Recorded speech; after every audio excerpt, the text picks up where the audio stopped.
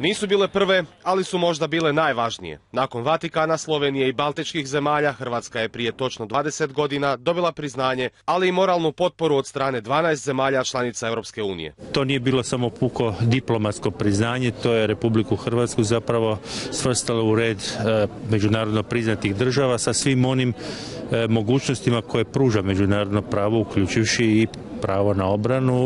Oni koji su i sami sudjelovali u događajima iz tog vremena dobro se sjećaju koliko je važno bilo baš pravo na obranu. Mi smo osjećali jedan ponos, nagradu koja je možda došla i kasno, e, zbog toga što smo, kao što znate, krvarili jako teško. Vukovar, nažalost, je bio pao.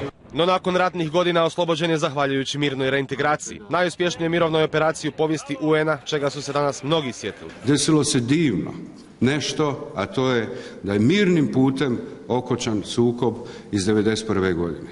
U 20 godina koliko je otad prošlo dogodile su se, kaže predsjednik, velike stvari. Hrvatska je prešla zaista velik put.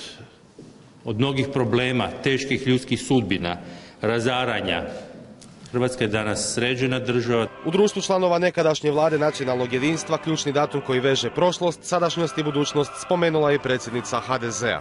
Zemlje Europske unije su rekle da Hrvatskoj. Mi sada u siječnju 2011.